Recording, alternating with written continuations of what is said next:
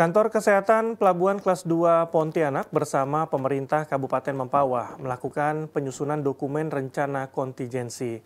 Hal itu dilakukan sebagai bentuk upaya penanggulangan kedaruratan kesehatan masyarakat untuk menghadapi potensi kejadian flu burung atau H5N1 di Pelabuhan Pontianak Terminal Kijing.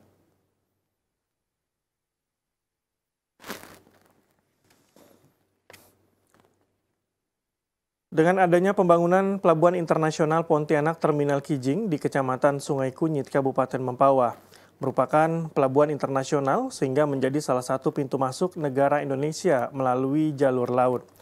Hal itu akan berdampak kepada mobilitas orang dan barang, baik dari dalam negeri maupun luar negeri, yang memiliki potensi menyebabkan kedaruratan kesehatan masyarakat.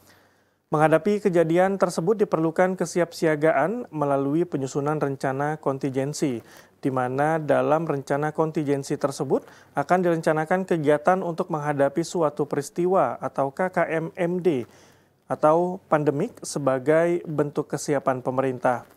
Kepala Kantor Kesehatan Pelabuhan Kelas 2 Pontianak Rahmat Subekti mengatakan, sebagaimana diketahui bahwa wabah lintas benua sudah pernah terjadi di masa lalu dan kemungkinan besar akan terjadi lagi di mana saat ini teknologi transportasi telah berkembang sehingga akan berdampak meningkatnya masuk dan keluarnya manusia antar negara di pelabuhan.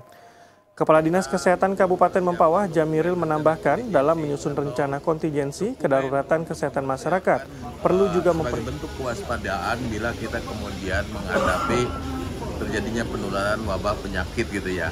Nah, Kenapa demikian? Karena kan uh, Kijing itu sekarang dibuka sebagai pintu masuk internasional untuk barang dan alat angkut.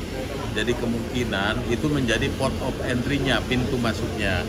Nah kita sekarang ini bersama dengan lintas sektoral menyusun satu dokumen. Bila kemudian itu terjadi, maka masing-masing sudah tahu kira-kira apa yang harus diperbuat oleh masing-masing.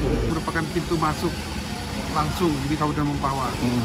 Sehingga kita harus siap juga, siap dengan kondisi-kondisi yang akan terjadi di kemudian hari terjadinya wabah. Hmm. Nah, kalau kita di Kabupaten Mempawah itu sendiri tidak siap, maka akan menjadi loss, menjadi loss hmm. ke mana-mana nih. Hmm. Nah, oleh sebab itu maka garda terdepan setelah kantor kesehatan pelabuhan adalah eh, dinas kesehatan Sementara itu, pertemuan penyusunan dokumen rencana kontingensi penanggulangan kedaruratan masyarakat sebagai respon menghadapi kejadian flu burung di Pelabuhan Pontianak Terminal Kijing yang berada di Kabupaten Mempawah.